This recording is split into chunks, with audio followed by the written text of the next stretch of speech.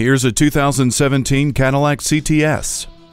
This CTS gives you more heart pounding performance than ever with its powerful engine, 8 speed automatic transmission, and a perfectly balanced body. The peaceful cabin allows you to softly communicate hands free with Cadillac CUE and Bluetooth, all while your passengers enjoy the Wi Fi hotspot. It offers a plethora of conveniences, including power front seats, memory package, adaptive remote start, and universal home remote.